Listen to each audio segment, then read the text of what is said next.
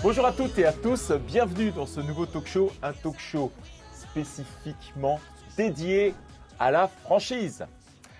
Avec moi, Emmanuel Jury, un spécialiste de la franchise à plusieurs titres. Il est à la fois expert auprès de la Fédération française de la franchise, il est expert en évaluation immobilière et puis il est aussi développeur pour les franchiseurs et les franchisés. Salut Manu Salut Patrick, comment vas-tu? Toujours de l'ambiance ici. C'est nickel, j'adore le jaune, on Bon. est au top. Bon, c'est génial. Bon, euh, pour ceux et celles qui ne savent pas, ça fait maintenant 20 ans qu'on se connaît. Oui. On a toujours travaillé ensemble. Oui. Et puis, euh, bah, moi, j'ai pu voir ton parcours euh, exceptionnel euh, au sein de, la, de la franchise. Et si je t'ai demandé de venir aujourd'hui, bah, c'est pour une requête, en fait, sur le web. La requête sur la franchise, c'est franchise rentable. Alors, avant que tu me dises qu'est-ce qu'on entend par franchise rentable, est-ce que tu peux me dire déjà qu'est-ce que c'est une franchise? Alors, on va essayer de faire court parce que je crois qu'on est sur un modèle euh, quand même il faut qu'il soit très euh, ludique et très dynamique. La franchise, en fait, c'est la reproduction d'un succès. Euh, C'est-à-dire que des gens ont éprouvé une méthode de travail, un concept, euh, de manière à pouvoir le dupliquer pour d'autres et que ces autres personnes qui sont des franchisés Ouais, puissent réussir. Voilà, c'est ça la franchise. Et, c'est- et ça évite d'avoir à, à monter son propre concept. C'est de profiter du concept de quelqu'un, moyennant effectivement des contreparties. Voilà. Donc, tu n'es pas obligé de réinventer un nouveau concept. À partir du moment où tu reprends, tu te rassois indirectement euh, à la même table, avec les mêmes choses euh, que ce que le franchiseur a pu euh, concevoir, du coup, ça peut t'assurer Alors, oui, alors une surtout pas, rentabilité. ouais, je dirais surtout, euh, on réinvente pas la roue, ce qui est Ouais. d'ailleurs une erreur, euh, euh, puisque je, je- je sens le sens de ta question. Euh, c'est une erreur qui est faite majoritairement euh, par les franchisés, c'est de réinventer un concept qui marche et il faut surtout pas le faire.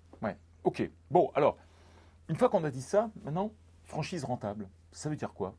Alors justement, quand tu m'as sollicité sur le sujet, effectivement, tu as raison, c'est la plus grosse requête euh, sur Internet, et c'est tout à fait légitime, par ailleurs, parce que devenir entrepreneur, euh, c'est une posture, évidemment, mais c'est aussi, euh, si on est héroïste dans sa tête, c'est-à-dire vouloir du retour sur investissement, bah, c'est très important. Mais la rentabilité, effectivement, qu'est-ce que ça veut dire? Parce qu'il y a des rentabilités financières, on va en parler avec toi Ouais. qui, est, qui est expert comptable, mais il y a aussi une, un retour sur investissement personnel. Il n'y a pas que l'argent, en fait, dans ce, dans ce système-là. Mhm. Je crois que tout à l'heure, on va parler un petit peu de ce qui est pour nous euh, le, euh, le- une franchise rentable financièrement. Oui. Et moi, je dirais que avant tout, c'est un projet de vie. Et ça, c'est une rentabilité. C'est une rentabilité personnelle. C'est une rentabilité familiale, si tant est que la famille soit, bien sûr, euh, Embarqué dans l'histoire embarqué, euh, embarqué et validé, et à valider le projet, parce que c'est très important. Euh, ça permet de s'exprimer d'une manière un petit peu différente, euh, de ne pas avoir à obéir à des ordres qu'on peut juger euh, avec certains qualificatifs, mais peu importe. En fait, c'est de prendre son destin en main. Et là, dé- déjà, pour moi, c'est déjà une certaine forme de rentabilité. Hein, moi, avant, j'étais salarié. Mhm. Je suis entrepreneur depuis euh, 11 ans. Voilà, c'est pas la même chose. Il y a des avantages et des inconvénients dans les autres. Je préfère les inconvénients de l'entrepreneuriat aujourd'hui. Je comprends. Alors, toi qui es le président du groupe Progressium, Oui, aujourd'hui, si on parle financièrement, oui. Est-ce que aujourd'hui toutes les franchises qui s'installent t'offrent ou offrent aux franchisés les mêmes euh, résultats financiers, c'est-à-dire, tu sais, on va parler d'excédent brut d'exploitation, donc la Oui. richesse qui est créée par la société. On va parler fait. forcément de résultats nets parce que c'est ce qui reste à la fin. Alors on, on aurait pu parler aussi de capacité d'autofinancement. On ne va pas perdre les personnes euh, dans euh, des euh, considérations euh, purement comptables, mais est-ce qu'aujourd'hui tous les franchiseurs offrent exactement la même rentabilité euh, au- auprès des franchisés? Alors, bien évidemment, puisque les modèles ne sont pas les mêmes. Alors, sans être trop technique, effectivement, il y a des marges brutes qui ne sont pas les mêmes, des achats qui ne sont pas les mêmes, etc. Néanmoins, euh, ce qui est intéressant de savoir, c'est qu'un franchisé, globalement, gagne en moyenne 3200 euros par mois. D'accord, donc ça c'est la moyenne. Ça, c'est la moyenne. Ce sont des stats qui sont euh, édités d'ailleurs, qui sont euh, disponibles auprès de la Fédération française de la franchise. Euh, donc, 3200 euros moyenne, c'est-à-dire que on est proche de la richesse en France, puisque on dit qu'il euh, y a 10% de la population française qui gagne plus de 3800 euros par mois. D'accord. Donc on est quand même sur, euh, sur, sur, le, sur le haut du panier.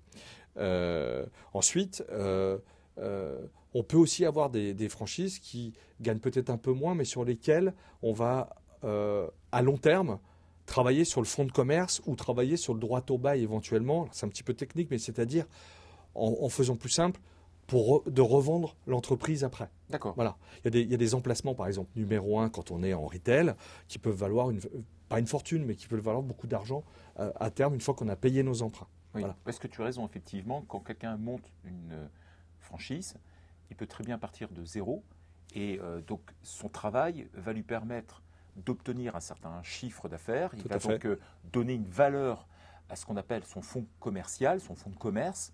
Et donc un jour, s'il a envie de vendre, ben, il ne revendra pas 0 euros, il revendra au prix euh, du marché. Et donc, indirectement, sa fortune, en fait, va à la fois compter sa rémunération qu'il a pu se donner tout au long de sa carrière professionnelle, mais également la, revente euh, de son fonds de commerce. C'est exactement ça, c'est la différence entre salaire et patrimoine, en fait. C'est ça tout simplement. Voilà. Effectivement. D'accord. Alors justement, est-ce que dans cette euh, typologie d'activité, pour toi, quels sont les secteurs qui sont les plus porteurs Alors, effectivement, on, euh, a eu une crise euh, covidaire qui a changé un petit peu les, les, curseurs. Donc l'habitat, effectivement, est quelque chose qui marche très très bien, alors que ce soit l'habitat intérieur ou extérieur. Hein, je réaménage ma maison, euh, par exemple, j'ai vu euh, un article dernièrement où, euh, juste sur les plantes, j'ai vu que tu as des plantes ici. sur les plantes, les millennials sont complètement fans de plantes et la, vente de plantes a augmenté d'une manière assez drastique. Mm. Il y a aussi l'extérieur, hein, donc refaire ses allées, refaire son jardin, etc. etc. C'est-à-dire être bien chez soi. Mm-hmm. évidemment, on peut ajouter aussi les piscinistes, hein, puisque je crois que en ce moment, je crois qu'il faut 12, 18 mois, 24 mois pour certains pour pouvoir avoir, en commandant maintenant sa piscine, pouvoir l'avoir dans les, euh, l'avoir installée. Donc tout ce qui est habitat, effectivement, euh, pour moi reste très lucratif, à la différence euh, peut-être par rapport à des magasins où on attend le chaland, c'est qu'en fait, par contre, il faut faire du commercial. Il faut vraiment avoir une appétence commerciale et comme on dit vulgairement, il faut taper dedans et donc il faut faire de la prospection, que ce soit vous, que ce soit le franchisé ou euh, mm. le, le, commercial qui l'a embauché. Mais voilà, en tout cas, ce sont les secteurs qui marchent bien. Donc il y a aussi l'immobilier, puisqu'effectivement, l'immobilier, là, il y a une migration hein, des populations des grandes villes vers les villes plus petites ou vers les villes euh, proches euh, de l'océan ou de la mer ou que sais-je, de manière à avoir une, une, une espérance, en tout cas, d'une vie meilleure. Voilà, donc l'immobilier.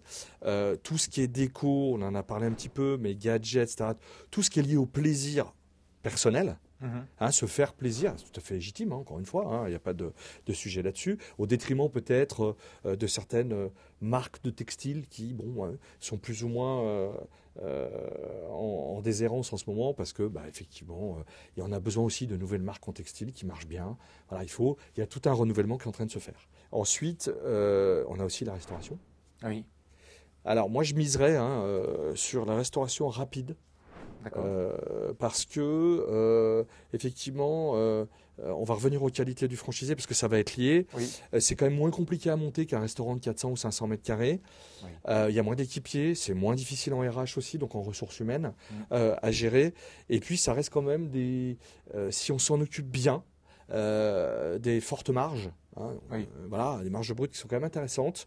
Et on, doit pouvoir avoir une espérance de gain quand même qui est, importante. Par contre, effectivement, euh, ce sont des horaires euh, importants. de toute façon, il n'y a pas de mystère. Hein. Plus vous êtes au travail, plus vous gagnez. Il n'y a, pas, absolument aucune, aucune autre forme de solution hein, pour moi. Il faut être ouvert pour pouvoir faire du chiffre d'affaires.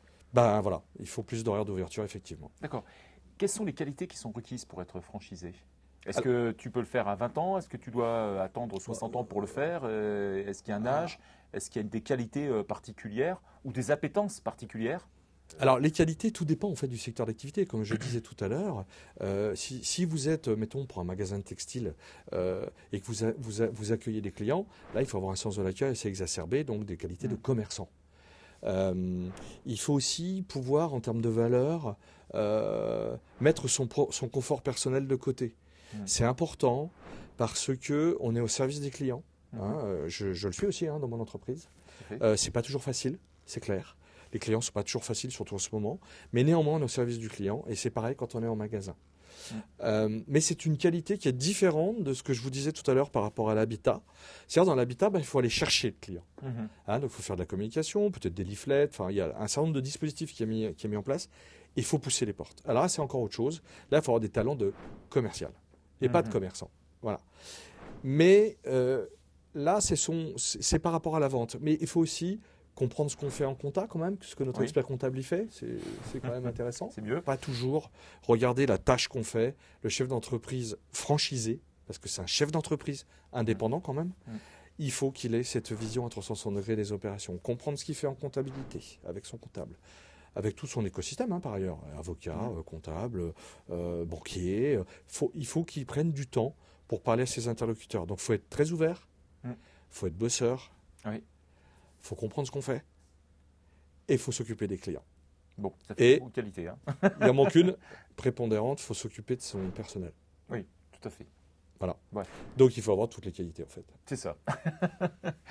bon, Emmanuel, où est-ce qu'on peut te trouver? Alors, il y a le son de la franchise, euh, bien évidemment.